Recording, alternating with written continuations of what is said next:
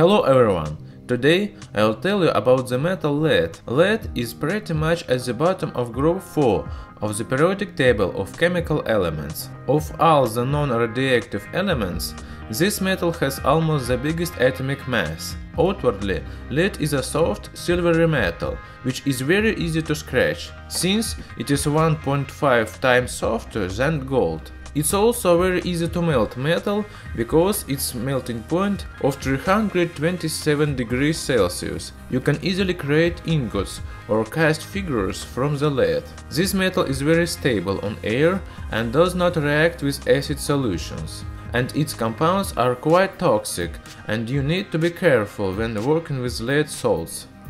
In ancient Rome, lead was often being used as wall facing for the manufacture of pipes and utensils. Romans did not know about the toxicity of lead, which they then subsequently paid for as lead affects the brain, and then human's psyche then suffers greatly from it. The usage of lead at home is considered one of the causes for the Roman Empire collapse.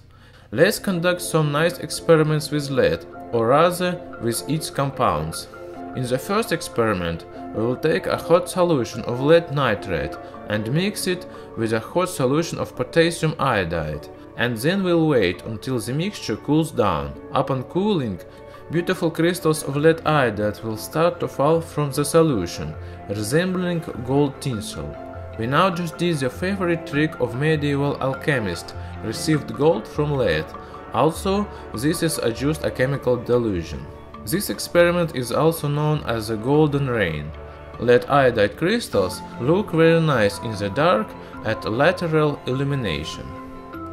For the second experiment, we will take the lead acetate, which is a salt of lead and acetic acid, and drop a piece of zinc into it.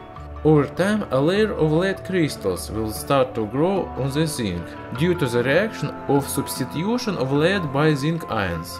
The layer of lead crystals looks very nice. It turns out to resemble something like a lead hendecock.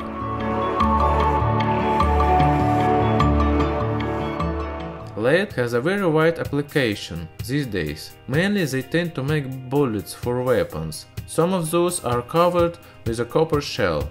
Lead is also used in the manufacture of lead acid batteries for cars, as a part of solder alloys. Because of its low price and high density, lead is used as a protection against radiation and as a load of fishing floats. Lead is obtained by reacting lead ore concentrate with carbon, after which it is purified from silver, nickel and other metals. Now you know a bit more about one other metal from the periodic table. If you want to continue this journey of the elements, like and subscribe to my channel to see many more new and interesting.